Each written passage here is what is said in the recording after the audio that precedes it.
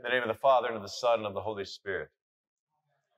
From Luke 17, pay attention to yourselves. If your brother sins, rebuke him, and if he repents, forgive him.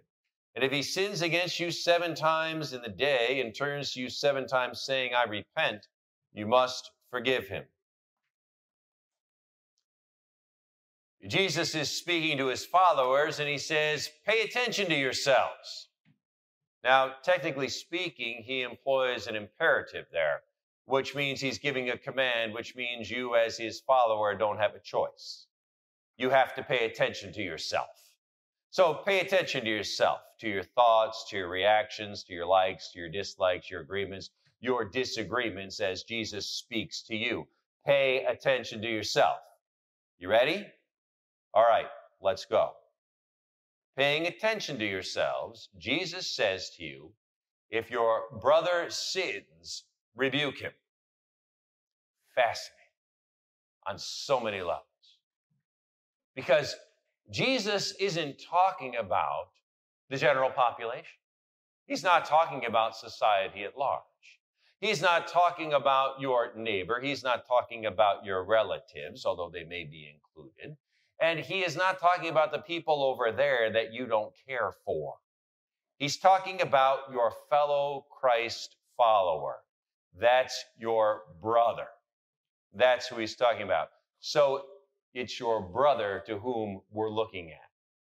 Jesus says, if your brother sins, fascinating. He doesn't say that your brother has to sin against you, just that if your brother sins. And then he doesn't bother to define what kind of sin.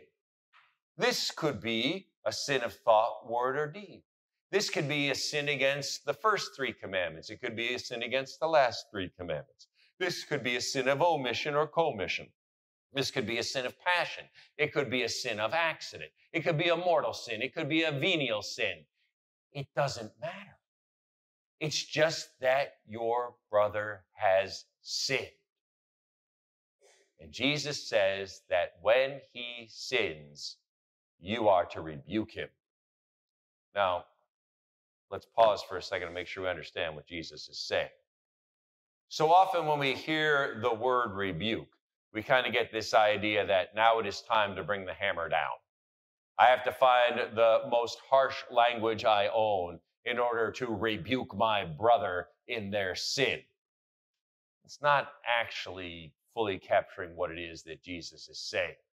When he says you are to rebuke your brother, he is saying in a gentle, yet frank and earnest way, you point out your brother's fault. You go to him and say, You have sinned. Here is the sin. Here's why it's a sin. You do this in much the same manner that Nathan did when David sinned committing adultery with Bathsheba. And he confronted David with that story of the rich man and the poor man and the ewe lamb. And he pointed out to David that he was the man who sinned in that fashion. Or like when Paul confronted Peter. Peter had been eating with Gentiles, no problem, but then the circumcision party came along and said, You can't do that because they're not circumcised, so they're not Christians. And Peter withdrew from them. And Paul went to him and said, No, Peter, that's not how we do things you need to get back with those people. So there you have it. If your brother sins, rebuke him. Now, paying attention to yourselves, what do you think about that? How often does that go down? See, one of the things that happens is when your brother sins, so often you conclude, that is my brother's business. Who am I to get involved? Who am I to judge? Who am I to say anything to my brother when they sin? Well, pay attention to yourselves. You are that person's brother. You are there to assist them in their Christian walk. You are there to help them along. Because whenever your brother sins, the whole body of Christ suffers. It's like when you stub your little toe against the bureau at night. It's not just the little toe that suffers, it's your whole body that suffers when that happens. So when your brother sins, you are to go to him and you are to rebuke him. You're to rebuke him so that he comes to repentance. And that's another thing to pay attention to yourself about.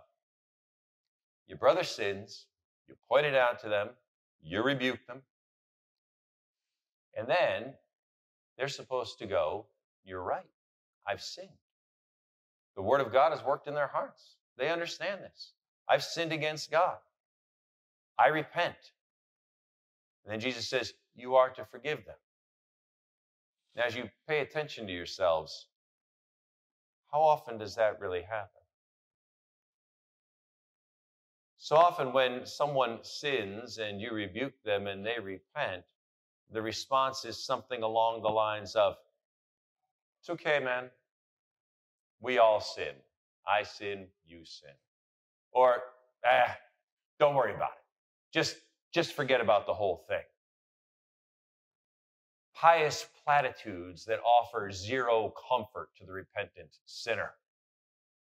When you look at somebody and they confess that they have sinned and they are repenting of their sin, and you say to them, don't worry about it, forget about it, you're saying, don't worry about your sin, forget about your sin, your sin's not important, you shouldn't worry about it. I mean, where's that nonsense found in Holy Scripture?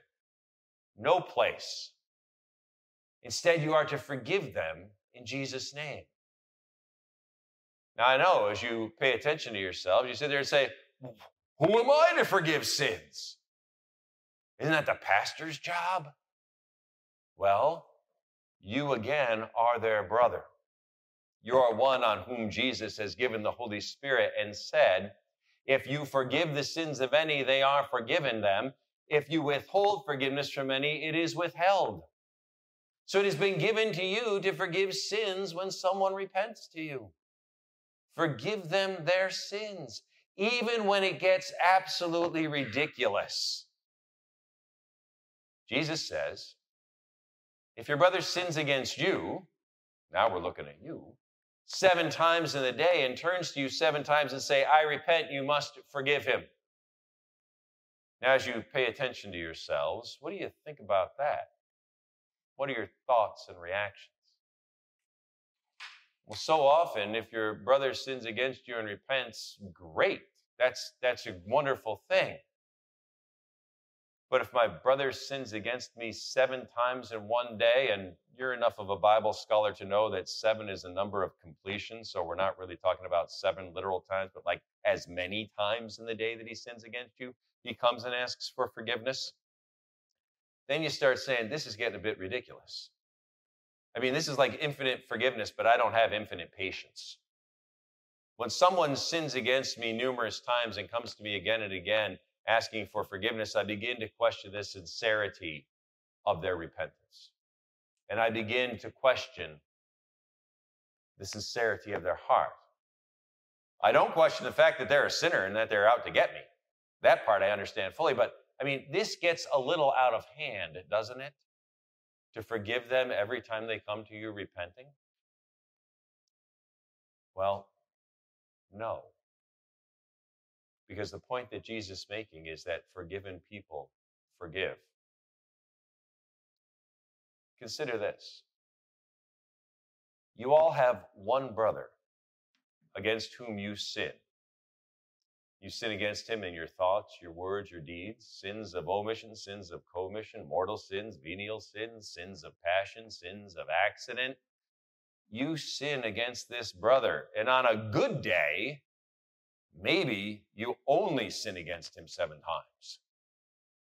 But you sin against him over and over and over again. And as the psalmist says, who can discern his errors? And so he comes to you and he rebukes you through the word of God. And you come to repentance. And you turn to him and say, Forgive me. And he looks at you and he shows you his nail pierced hands. And he says, I forgive you. He shows you the hole in his side and the nail piercings in his feet. And he says, I forgive you. He doesn't say, it's okay. He doesn't say, oh, forget about it. He doesn't say, oh, don't worry. He says, I forgive you because he's your brother who loves you so much that he took all of your sins thought, word, deed, omission, commission, mortal, venial, by accident, out of passion, whatever the sin is, he took them all to Calvary's cross. And there he died in your place to pay the penalty for your sins. And he took your sins and buried them in his tomb and rose again on the third day to bring you forgiveness of sins. And he brings that to you through the words of absolution, through the preaching and reading of his word, and through holy baptism, and through the body and blood with the bread and the wine and the Holy Communion. He brings that to you and says, I forgive you. For as many times as you have sinned against me, I forgive you. For as many times as you will sin against me, I forgive you. The forgiveness of Christ Jesus knows no bounds. It doesn't set a limit on you. And that forgiveness has been given to you. It's been poured into your heart and into your life, such that you have all that you need when a brother sins to rebuke them, and when a brother repents to forgive them. And when it gets crazy and the brother sins against you over and over and over again, to forgive them over and over and over again. Because that's the life of brothers. Brothers who are forgiven, who forgive one another. In the name of the Father, and the Son, and the Holy Spirit.